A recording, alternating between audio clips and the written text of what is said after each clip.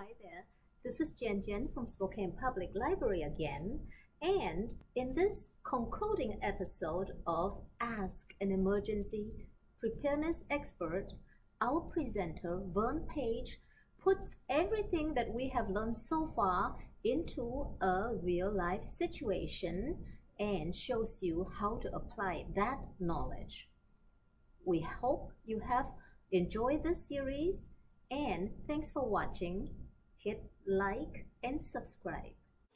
In this session, we're going to give a real life scenario of something that can happen in Spokane, has happened in Spokane, and uh, something that I personally have suffered from, and I want to I want to share. And that is where the temperature, the temperature uh, drops severely drops, and there's a power outage. And as we have talked about in the past, we live in a box that we call a home or an apartment, but we live in a box and we depend on electricity to provide our life in that box. And so when uh, winter hits, there's always that potential that we could lose power. And when that happens uh, at a very, very cold temperature, that is very concerning. So, how do we survive, let's say 10 degrees below zero, with no electricity? First of all, and simply, the big picture is we camp out. We actually go camping, just like summer, but we're going to camp in our home. And uh, we're going to find a place in our home that is most conducive to staying warm and having the space to interact and uh, to maintain a, somewhat of a normalcy. Now, we want to close off that space to retain the heat at that cold temperature. Now, this is the area um, I chose, and it's kind of a little kitchen family uh, room area and I took a quilt and I blocked off an open doorway so that we would not lose heat through that. A big mistake. Uh, this was my wife's uh, mother's quilt, and I tacked that up, and she was not real happy with me. You probably may want to really think about what you're putting up there. But uh, anyway, this is what I did, and then I sealed windows. There's lots of ways of sealing those windows for insulation. You can use cardboard. Uh, you can use blankets or quilts. Uh, but what we found is an amazing, simple form of insulation is bubble wrap. And you can bubble wrap the inside and you can bubble wrap the outside. Huge saver of energy. And it allows light to come through, which is cheerful. And that's good. Uh, my downstairs windows, we can, what I did is I used some insulation, but you can also use pillows to block that a little bathroom area you want to protect there. Uh, because the big thing we are concerned with initially is pipes breaking. If it gets cold, if it's 10 below outside, that cold will come through. And if there's pipes in that area, they will freeze and you will have breakage. So, two options that we have. One is to keep the water in those pipes warm. Now, most all of us have done this, unless you're new to the Spokane area or a cold country.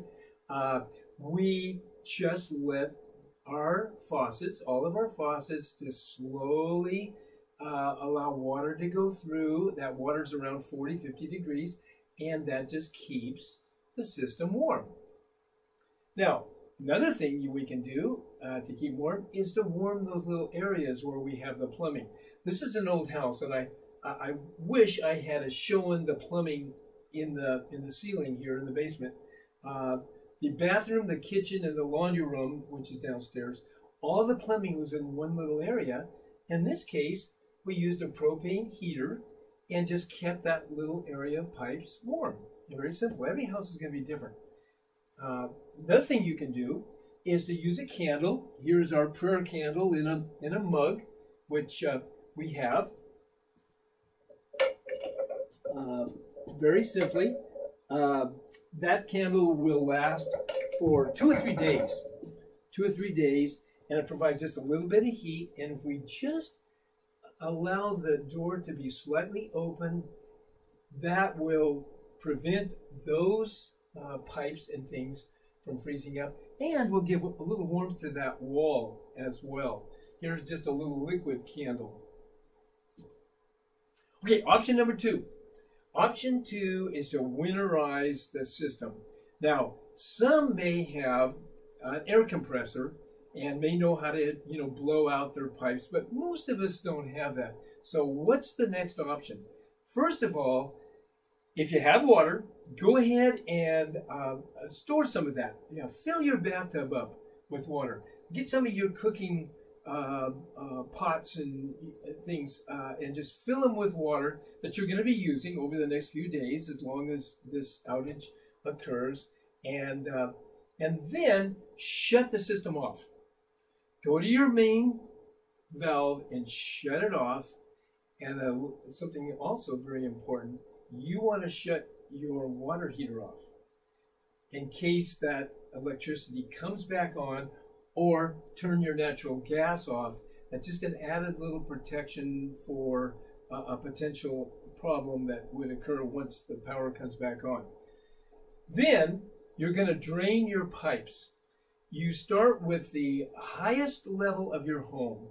Um, uh, if you have an upstairs, open up all your valves upstairs, uh, including toilet. Just open those up. Remember that the water's off now. But You just open them up where air can get in. Then you come to the lowest uh, sinks and uh, toilets and things on your main level or basement, and you open those up. So you're basically opening everything up and allowing the gravity to take the water down through the pipes and drain it out and keep that water. You know, that's good. Now, would there possibly be a little water left in certain little junctions and things? Absolutely.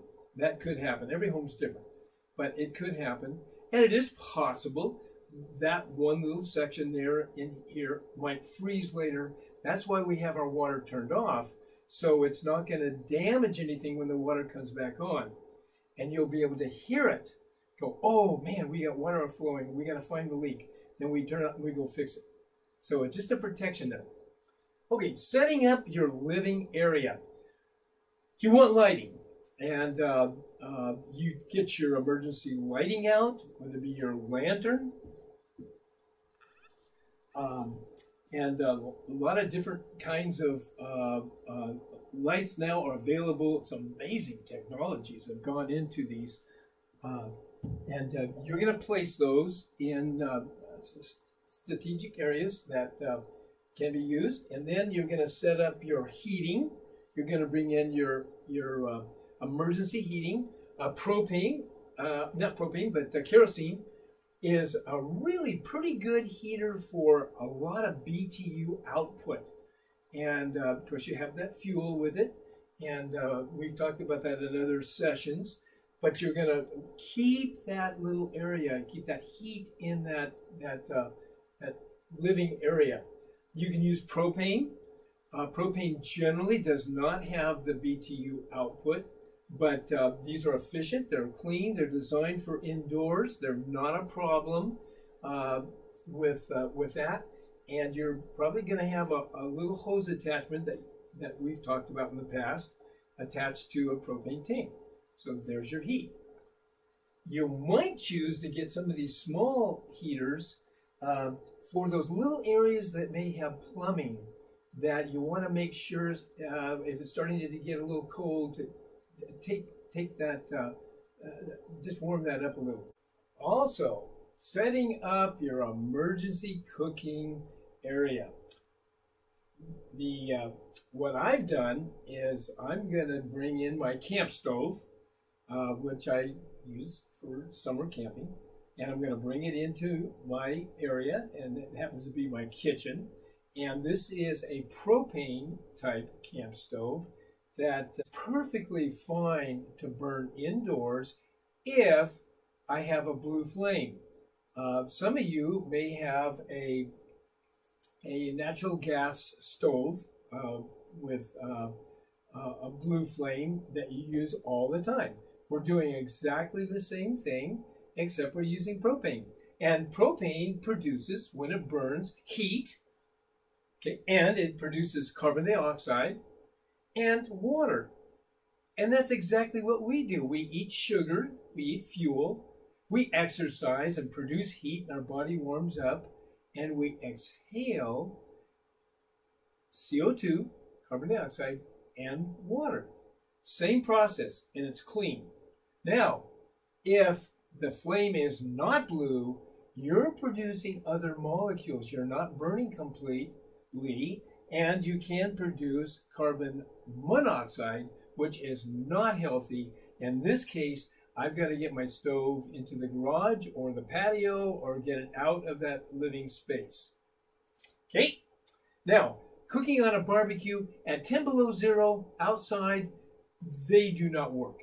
And so don't rely on a barbecue for your cooking if it gets really cold, because you can't bring this inside your house. Okay, I'm going to cook, in, in many cases, I'm just going to cook right on my, my regular stove. I'm just going to move my device over to the stove and cook with it. Now, setting up your sleeping area. That's the last of your setup. And you can bring mattresses from your beds on your children, grandchildren, wherever, and you bring those into your living area and you just camp out on the floor. Kids love this.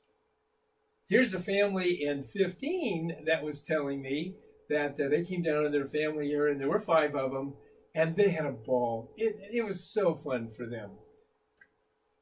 Bring out the games and make an event, make memories that they'll remember forever. That's because you're prepared. So, I love this ancient uh, proverb that uh, the prepared woman, the wise woman, she has no fear of winter. She laughs without fear of the future. Why? Because she prepared. Your family will survive. Why would you risk not being prepared? Prepare for the possibilities that can happen. And 10 below zero is a real possibility in the Spokane area. And we can lose power in those times. So you're preparing for that possibility. Don't think in your mind you're going to prepare for the probability because this gets people in trouble. Oh, what's going to be a good winter? I don't need to prepare. I'm not going to get in a car accident. I'm not going to wear my seatbelt. And the list goes on, and people get in trouble. Being prepared is a little work, obviously, and it's going to cost a little bit, but oh my goodness, it's so worth it. Because when you think of the alternative, uh, this is good. You're, you're very wise.